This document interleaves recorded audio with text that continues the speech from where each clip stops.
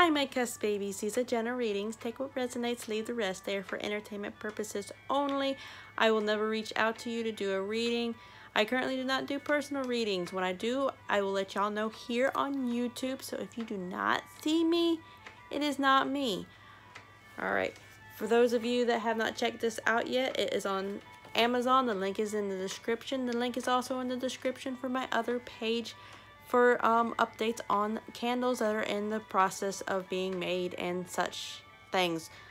Currently nothing is in the process of being made, but check it out because I do have some things on there already. Um, yeah. If you like what I do and are interested in donating, I will create a GoFundMe page. The link will be in the description for that as well. Aside from that, enjoy your reading. Bye. Hi, my Gemini Cancers. This is going to be a general reading for the month of May, which is not that far away right now. So, y'all will see this pretty shortly. What the spirit want my Gemini Cancers to know for the month of May? Aside from seeing potential power outages. Let's hope not. What the spirit wants y'all know for the month of May. I don't really. Okay. The month of May. Gemini, Cancer what the spirit wants y'all to know. Hmm. I am not really getting a good card field today.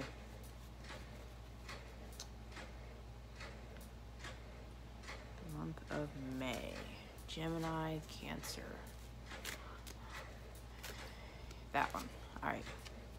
Tiger. Passion and bleh. Passion and adventure beckon.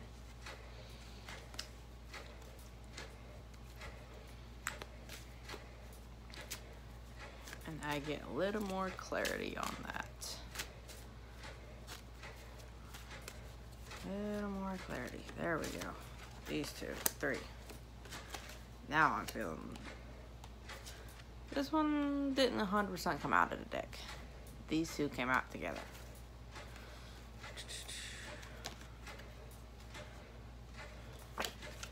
You got the tiger and the black panther.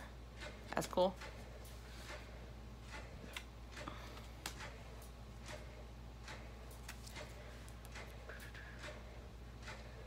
Sensuality and passion stir beneath the cloak of secrecy. Discernment before passionate encounter leads to the magic of love. And turn away from infidelity so that love may blossom.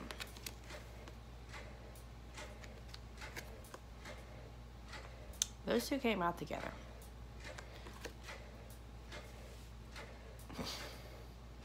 The hummingbird is going from flower to flower. The rabbit likes to multiply. That's kind of an ironic combination. I feel like this isn't the first hummingbird the cancers have gotten. Let's see, so...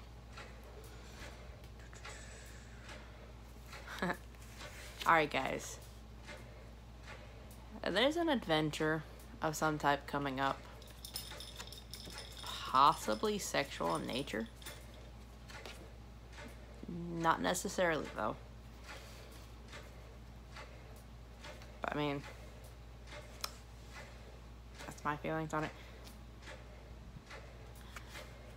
So, something's coming up or something's in play right now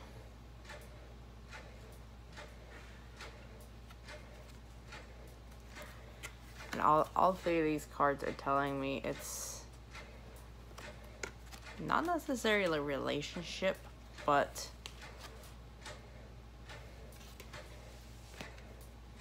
it's what's the word for it? It's a pleasure, okay?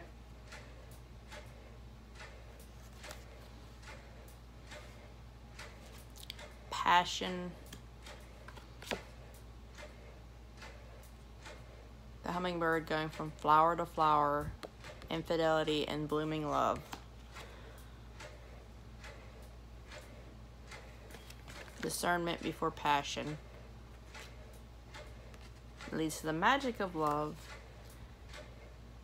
sensuality, and passion hide beneath the cloak of darkness. Every single one of these cards, except for the hummingbird, has passion in it. And the hummingbird says love. So. If this isn't that type of situation, it's kind of... Y'all gonna have a fun time. That's obvious from the cards.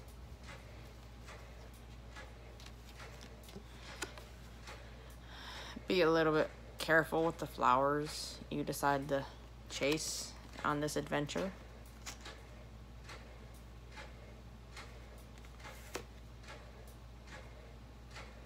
Don't hop around from one petal to another or flutter around.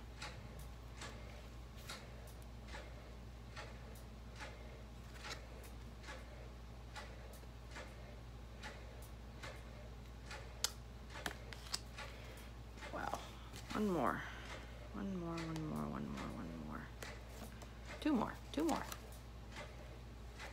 Horse chameleon. Seek your passion aloud and defend those whom you love in word and deed. Yet again, passion and love.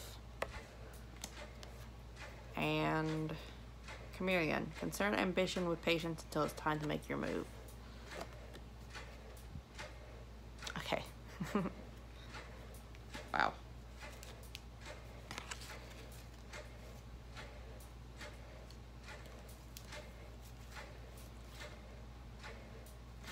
Yeah, you go on an adventure, you're roaming free. There's love and passion.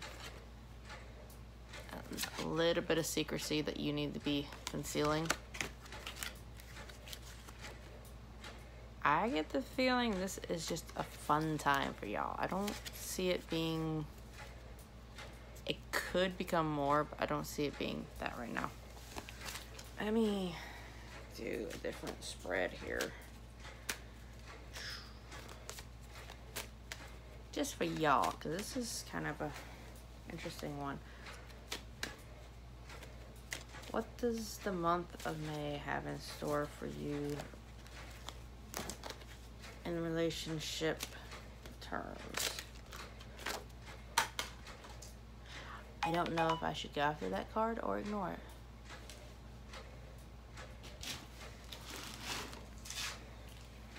Moose, with self-reliance and measured patience, adversary will become overcome. Mind you, this card just ran away, so... Yeah. I'm not sure what that means, but... Anyway, what does y'all's relationship look like right now? Two cards again. The frog and the bee. You gotta work hard.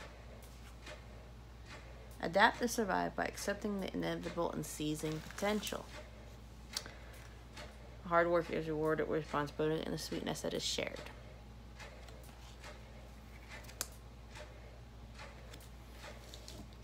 y'all are adapting to this relationship. Y'all working hard for it. Okay, so. See, I think the situation right now, y'all's playing. Y'all playing around. Maybe playing hard to get.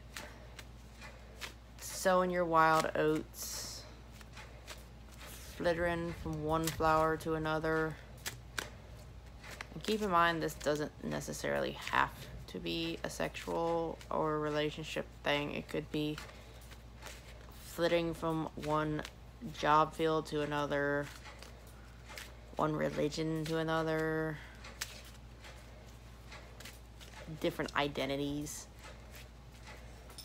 so even though I'm using terminology on relationship terms, don't actually ever me for that unless I like strictly tell you this is all I mean, which I probably am not gonna do. Apparently, we're gonna have hail size or golf ball, tennis ball, something size hail around here sometime. So that's what that dinging's about. Um, yeah. But back to the topic. Y'all are fluttering from flower petal, from flower to flower, and whatever this is, be it relationship, be it work, and y'all actually have or are going to have a specific person or situation in mind, an ideal one. But in order to make that work, y'all gonna have to adapt a little bit. Change probably for the better adapt, adapt to the circumstance and work hard and basically you've got to change show the girl guy job that you're not what you come across as you're not the player you're not that person that's going to abandon them in their time of need this can go for anything. Jobs don't like people to abandon them either, so. But show show them that you're a different person. Put in the hard work, and you will reap the reward of that sweet nectar in the end. See, that's something else with the hummingbird and the bee have in common. They both flutter from flower to flower to get the, to the nectar inside those petals. So,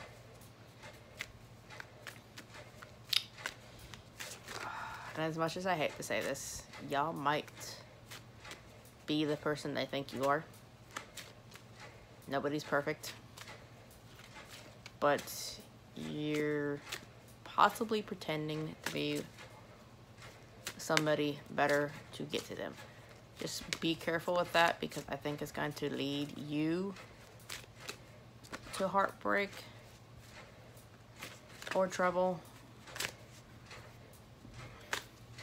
This isn't the situation to be playing that game. Okay?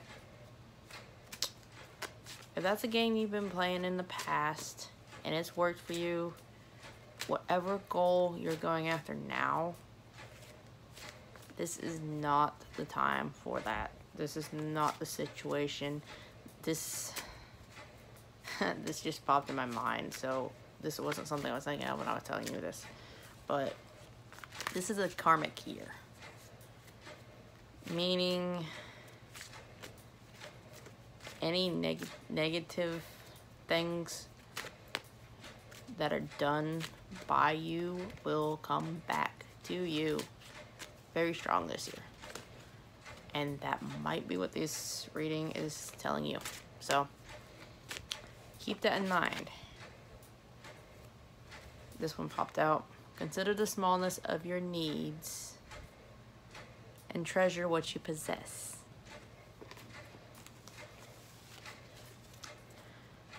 Take care of what you got. Don't screw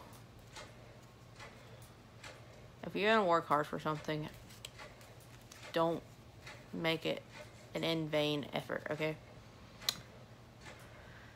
Some of you will know what I'm talking about. Some of you will think I am just rambling on in this because y'all's reading is really hard to do today. It took me a long time to even want to pick a card, so Some of you may not actually have needed a reading for May. I think y'all are doing pretty good. But there's a few of you that know what I'm talking about, so y'all see it eventually.